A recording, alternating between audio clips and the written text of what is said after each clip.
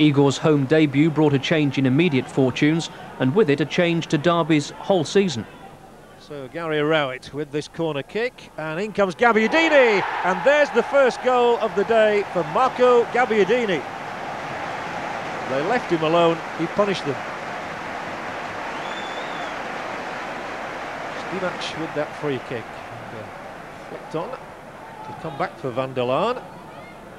Willems with a lovely touchdown and Gabbiadini side down. Raven conceded it and Dean Sturridge, who started the season with a flurry of goals, has a chance to add to his tally. And at 2-0, you can't really see West Brom coming back, and it is 2-0. It went in off Naylor's hands, it's good enough.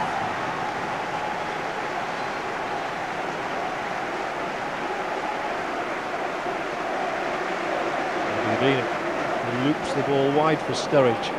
This is what he enjoys so much, running at defences, and that's what he does here. And Sturridge is right into the area. On he goes, past the keeper. Oh, it's so simple.